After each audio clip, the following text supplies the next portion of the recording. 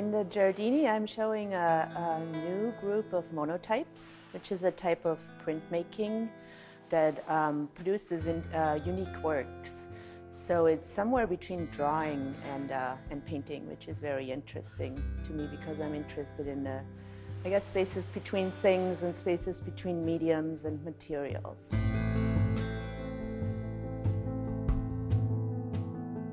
It has been a very useful term for me, uh, the container, and to think about how uh, this concept of a container travels across a lot of things that I'm interested in. It goes from the physical material world, um, where it can occupy a lot of scales, from like a vase or a, a, jar to a shipping container to the psychological world. And it also can be used in relation to spaces, to bodies, and to artworks. And I'm especially interested in this idea of the container in relation to my artworks um, in terms of how they make meaning and how they um, how I built them around a sense of openness and almost unfinishedness that then requires a relationship with a viewer to be filled up with um, a particular sense of um, meaning, whether that is a, a, an image or an emotion or any kind of association is invited in the work. And then in my idea, the artwork empties out again like a container to be refilled in the next encounter with a different person. I use several different materials. Here we're standing in front of technically works on paper.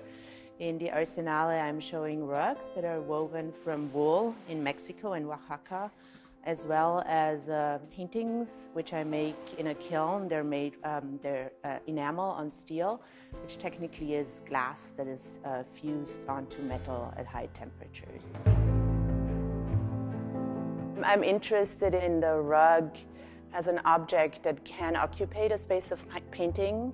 And specifically with the rugs in the Arsenale, I've been interested in the idea of a frieze and how a frieze is related to the verticality of bodies, but also contains movement.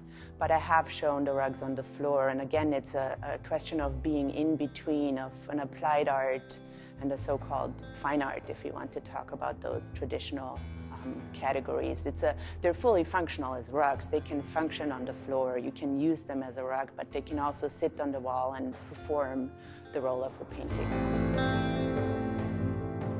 Several years ago, my work was often described as abstraction, and I never thought of my work as purely abstract, certainly not pure in any way. And I started to import imagery. The shoe is um, one of those images. I found that shoe on, a, uh, on the sign of a shoemaker's store. Um, I made a drawing of it many years ago, and then last year I started to use the high heel shoe. And it seems to, again, be like the question around the shoe is for, for me, how can something be very legible, very iconic, but still be open uh, to be interpreted in relation to different kinds of ideas, politics, experiences?